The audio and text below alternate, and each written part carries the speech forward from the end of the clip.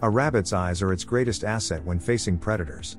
Convex, located at the top of the head, can cover a visual field of more than 300 degrees around and a large part of the space above.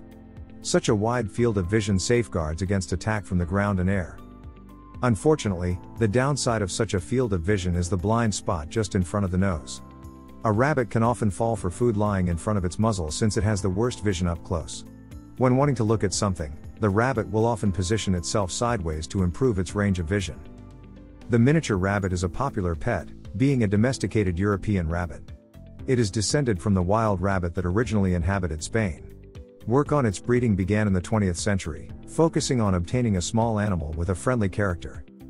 Sight is one of the most essential senses in a rabbit, guaranteeing its survival in its natural environment.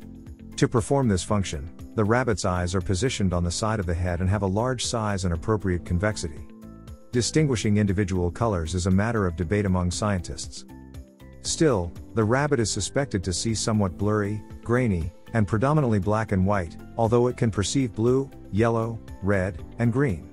Rabbit eye pathology includes diseases such as glaucoma, cataract, conjunctivitis, corneal ulceration, and blockage of the tear ducts.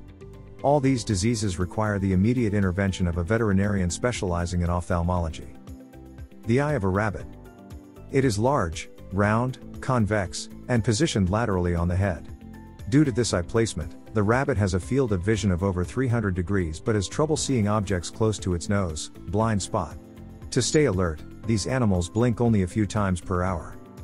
A distinctive feature of rabbit eyes is the presence of a shutter, third eyelid, which additionally protects the eyes and ensures proper lubrication. The rabbit's pupils are not adaptable, so they are not the best at seeing in full or very low light. Color vision in the rabbit. Although many people have wondered what colors the rabbit perceives, to this day, no clear answer is known. Most scientists advocate the position that rabbits can distinguish between blue and yellow and red and green, but they see primarily black and white the world around them. The image they perceive is blurry and grainy. Construction features. You will probably want to learn more about rabbit anatomy. The eyeball of the rabbit is giant and spherical in shape. Its structure is identical to that of the eyeball of many other animals. It is located in orbit and is connected to the brain by the optic nerve. Inside the eyeball are refractive agents, lens, vitreous body, contents of the anterior and posterior chambers, sheaths, and nerves with vessels. The eyeball includes three eyelids. These are the traditional upper and lower and the second eyelid, which is located at the inner corner of the eye. The third eyelid is necessary to protect the sebaceous glands. The lacrimal gland is located in the temporal corner of the eye. Seven muscles are responsible for eye movement, four straight, two obliques, and one retractor of the eyeball. There is a thick coating on the eye's surface that helps moisturize and preserve the apple. Thanks to this coating, rabbits rarely blink. Night vision in the rabbit. How do rabbits see at night? How does a miniature rabbit see during the day? The dominant photoreceptors in the rabbit's eye are the rods, thanks to which these animals can see well at dawn and at dusk in the so called half light they are definitely less good at seeing in daylight and at night. However, it is not precisely accurate to say that your rabbit has excellent night vision. While they may have better eyesight than we do, it's not exactly difficult because we see absolutely nothing due to being daytime animals that don't sleep during the day. The truth is that a rabbit's day and night vision are probably of similar quality, and the structure of their eye makes the piggy side appear grainy or even blurry at night. However, they can also use their other senses to gather more information about their environment. There is a scientific explanation for these differences in their vision. As in all animals, the quality of a rabbit's vision is determined by its rods and cones. The cones choose the quality and color at which our eyes excel, while the rods assess sensitivity to the piggy side. Rabbits have more rods, which makes their eyes better than ours at night, allowing them to pick out blurred shapes and movement, but worse during the day because they have to deal with glare. How to check if your rabbit can see. If you suspect that your rabbit has a vision problem, Visit a veterinary ophthalmologist. Only a consultation with a specialist can allay our suspicions and guarantee the best management of vision problems. Rabbit eye diseases. The most common causes of eye diseases in rabbits are genetic factors, poor diet and care, and bacterial infections. Therefore, we should regularly give our pets vitamins and reach for high quality food. We should also take care of the cage's cleanliness so that bacteria and viruses do not develop there. Nevertheless, eye diseases often appear anyway, including conjunctivitis, corneal ulceration, blocked tear ducts, glaucoma, and cataract. Conjunctivitis is caused by a bacterial infection and requires appropriately selected antibiotic therapy. Corneal ulceration is a painful condition caused by external factors, mechanical damage, foreign bodies, or internal, body health problems. It requires a visit to the veterinarian and pharmacological treatment. Blockage of tear ducts causes dental problems or inflammation. It takes some time before the vet treats the condition and the tears properly irrigate the eye. Glaucoma is caused by increased intraocular pressure, which destroys the retina. It can lead to blindness.